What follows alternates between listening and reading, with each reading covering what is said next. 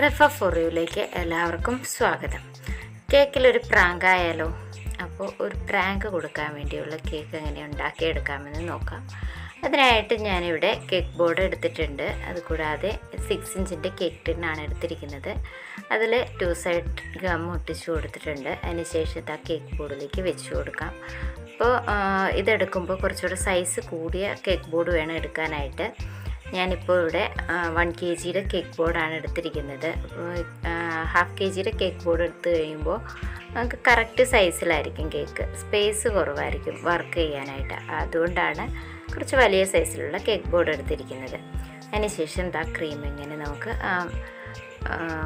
ടിന്നിൽ ചുറ്റുമായിട്ട് cream apply ചെയ്ത് കൊടുക്കാം. അപ്പോൾ ഇത് പ്രാങ്ക് കൊടുക്കാനും അതുപോലെ ടു ടയർ കേക്ക് ചെയ്യുമ്പോൾ അടിയിൽ ടയറായിട്ടും ഒക്കെ ഇങ്ങനെയുള്ള ടിൻ വെച്ച് ചെയ്തെടുക്കാം കേട്ടോ. അപ്പോൾ അടിയിലൊരു ടയർ ഇങ്ങനെ ടിൻ വെച്ച് ചെയ്തിട്ട് മുകളിൽ റിയൽ ടയർ ചെയ്ത് കൊടുക്കുക അപ്പോൾ അങ്ങനെയൊക്കെ ആയിട്ട് ഇങ്ങനെ ചെയ്യാം.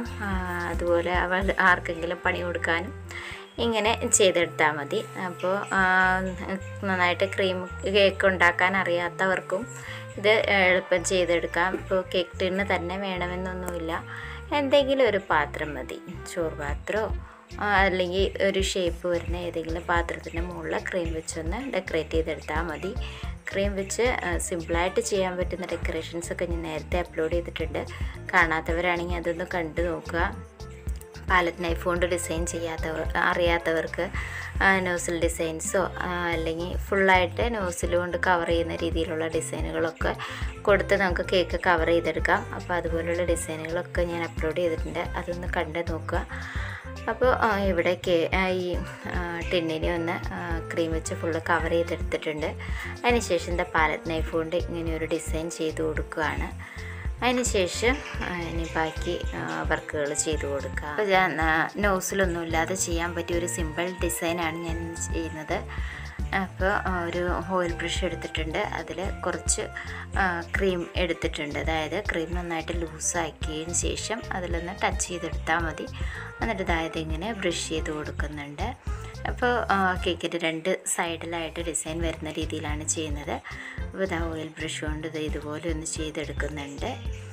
അപ്പോൾ ചെറിയൊരു ലീഫ് പോലെ ഒരു ഫീൽ ഒരു ഗ്രാസിന്റെ ഒക്കെ ഒരു ഫീൽ കിട്ടുന്ന രീതിയിൽ അങ്ങനെ ചെയ്ത് കൊടുക്കാം. അതിന് ശേഷം അതിന്റെ ഓപ്പോസിറ്റ് സൈഡിലേക്ക് ഒന്ന് ചെയ്ത് കൊടുക്കാം. അങ്ങനെ ആ രണ്ട് സൈഡിലായിട്ട് ഒന്ന് ചെയ്തെടുക്കുന്നുണ്ട്. അപ്പോൾ ക്രീം നല്ല ലൂസായിരുന്നാലാണ് ഈ ഒരു രീതിയിൽ ചെയ്തെടുക്കാൻ പറ്റുള്ളൂ. അപ്പോൾ ക്രീം നന്നായിട്ടൊന്ന് മിക്സ് ചെയ്ത് ലൂസാക്കി എടുത്താൽ മതി. എന്നിട്ട് ഇങ്ങനെ ചെയ്ത് കൊടുക്കാം ഇനി ഇതിൽ കുറച്ച് ഫ്ലവർ വരച്ച് കൊടുക്കാം. അതിനായിട്ട് വയലറ്റ് കളറാണ് എടുത്തിരിക്കുന്നത്. ആ ക്രീമും നല്ല ലൂസായിരിക്കണം. അത് അതായത് ഇതുപോലൊരു പാലറ്റ് നൈഫ് കൊണ്ട് ടച്ച് ചെയ്ത് ഇങ്ങനെ ഒരു ചെറിയ ഫ്ലവർ വരച്ച് കൊടുക്കാം. ഇതൊക്കെ വളരെ സിമ്പിളായിട്ട് ചെയ്യാൻ പറ്റിയ ഫ്ലവേഴ്സാണ് കേട്ടോ അപ്പോൾ നമ്മൾ ചിലപ്പോൾ ടച്ച് ചെയ്യുന്ന സമയത്ത് ഗ്രീൻ കളർ ക്രീം പല നൈഫിലാകും അങ്ങനെ ആയിട്ടുണ്ടെങ്കിൽ അതൊന്ന് ക്ലീൻ ചെയ്തിട്ട് വേണം കേട്ടോ അടുത്ത കളർ എടുക്കാനായിട്ട്. അല്ലെങ്കിൽ അതെല്ലാം കൂടി മിക്സായി പോകാൻ സാധ്യതയുണ്ട് കേട്ടോ. അപ്പോൾ സെന്ററിൽ ഒരു വലിയ ഫ്ലവർ വരച്ചു. സൈഡിലേക്ക് ചെറിയ ചെറിയ ഫ്ലവർ വരുന്ന രീതിയിലൊന്ന് വരച്ചു കൊടുക്കുന്നുണ്ട്. അപ്പോൾ ആദ്യം കരുതി താഴെ നിന്ന് താഴെ ചെറിയ ഫ്ലവർ മുകളിലേക്ക് വലിയ വലുത് അങ്ങനെ ഒരു രീതിയിൽ വരയ്ക്കാമെന്ന് അതാണ് കേട്ടോ അത് അങ്ങനെ വരച്ച് പിന്നീട് ദൂർദ സെന്ററിൽ വലുത് വരച്ചിട്ട് സൈഡിലേക്ക് ചെറുത് ചേർത്ത് വരയ്ക്കാമെന്ന്. അപ്പോൾ ഇതാ അടുത്തതായിട്ട് ഓപ്പോസിറ്റ് സൈഡിൽ ഇതുപോലെ തന്നെ ഫ്ലവർ വരച്ച് കൊടുക്കുന്നുണ്ട്. വളരെ സിമ്പിളായിട്ട് ചെയ്യാൻ പറ്റിയ ഒരു ഡിസൈനാണ്. ഇതിപ്പോൾ ഡമ്മി കേക്കിൽ മാത്രമല്ല കേക്കിലും ചെയ്ത് കൊടുക്കാം കേട്ടോ.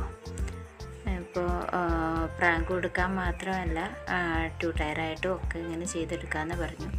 എപ്പോഴാണെങ്കിലും കേക്ക് ടിൻ വെച്ച് കേക്ക് ചെയ്യുമ്പോൾ കുറച്ച് വലിയ സൈസുള്ള കേക്ക് ബോർഡ് വേണം എടുക്കാനായിട്ട്. കേക്ക് നമ്മൾ ഈ പാന് വെച്ച് തന്നെ ഉണ്ടാക്കുന്നതെന്ന് പറഞ്ഞാലും പാന്റെ വക്ക് വരുന്നുണ്ടല്ലോ. അപ്പോൾ ആ പോർഷൻ കുറച്ച് സ്പേസ് കൂടുതൽ വേണ്ടി വരും. അതുകൊണ്ട് അങ്ങനെ ചെയ്യണം. അതുപോലെ കേക്ക് കവർ ചെയ്തെടുക്കുന്ന സമയത്ത് കേക്ക് ടിന്നിൽ വെച്ച് കവർ ചെയ്തെടുക്കുന്ന സമയത്തും താഴെ വക്കിന്റെ ഭാഗത്ത് കുറച്ച് ക്രീം കൂടുതൽ വേണം. എന്നാലാണ് ആ വക്കിന്റെ ഭാഗം കാണാതെ കവറായിട്ടിരിക്കുകയുള്ളൂ അപ്പോൾ ആ സൈഡിൽ ക്രീം കൂടുതൽ കൊടുത്തിട്ട് നമ്മൾ റൊട്ടേറ്റ് ചെയ്യാനായിട്ട് എടുക്കുന്ന പാലറ്റ് നൈഫോ അല്ലെങ്കിൽ കാടോ ഒന്ന് ചെരിച്ച് പിടിച്ചു കൊടുത്താൽ മതി. അപ്പോൾ താഴെ നല്ല തിക്കായിട്ടും മുകളിലേക്ക് തിന്നായിട്ടുമായിട്ട് നമുക്ക് ക്രീം കിട്ടും. അപ്പോൾ താഴെ വക്കിന്റെ ഭാഗം കാണാതെ നന്നായിട്ട് കവറായിട്ട് കിട്ടും. അപ്പോൾ ആദ്യം ഹാഫ് ഫ്ലവർ നേരത്തിയിട്ട് പിന്നെ ഫുള്ളായിട്ടുള്ള ഫ്ലവേഴ്സ് വരയ്ക്കാമെന്ന് കരുതി.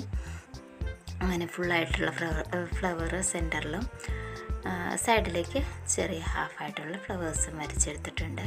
അതിനുശേഷം ഇനി എന്റെ സെന്ററിലായിട്ട് യെല്ലോ ക്രീം വെച്ച് ഒന്ന് വരച്ചു കൊടുക്കുന്നുണ്ട്. ഇത് സെയിം രീതിയിൽ തന്നെ യെല്ലോ കളർ ക്രീം വെച്ച് വരയ്ക്കുകയാണ്. എല്ലാ ഫ്ലവേഴ്സിനും യെല്ലോ കളറോട് കൂടി കൊടുക്കുന്നുണ്ട്. അപ്പോൾ ഈ ചാനൽ ആദ്യമായിട്ട് കാണുന്ന കൂട്ടുകാരാണെങ്കിൽ പ്ലീസ് ചാനലൊന്ന് സബ്സ്ക്രൈബ് ചെയ്ത് സപ്പോർട്ട് ചെയ്യണേ. ലൈക്ക് ചെയ്യാനും നിങ്ങളുടെ അഭിപ്രായങ്ങളൊന്ന് കമന്റ് ചെയ്യാനും മറന്നു പോകരുതേ. നിങ്ങളുടെ ഫ്രണ്ട്സിനും ഫാമിലി മെമ്പേഴ്സിനും ഒക്കെ ഈ വീഡിയോ ഒന്ന് ഷെയർ ചെയ്ത് കൊടുക്കാനും മറക്കരുതേ.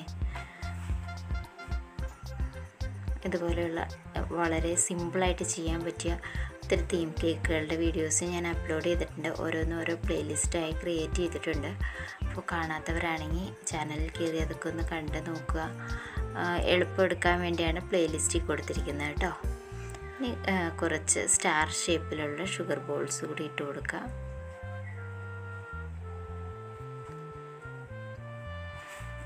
എല്ലാ ഫ്ലവേഴ്സിന്റെ സെന്ററിലായിട്ട് ഓരോ ഷുഗർ ബോൾ വരുന്ന രീതിയിൽ അങ്ങ് വെച്ചെടുക്കുന്നുണ്ട് സെന്ററിൽ ഒരു ഹാപ്പി ബർത്ത്ഡേ ടോപ്പറും വെച്ച് കൊടുത്തു. ഇത്രയേ ഉള്ളൂ കേക്കിന്റെ ഇതിന്റെ ഔട്ട്ലുക്ക് ഇതാണ്.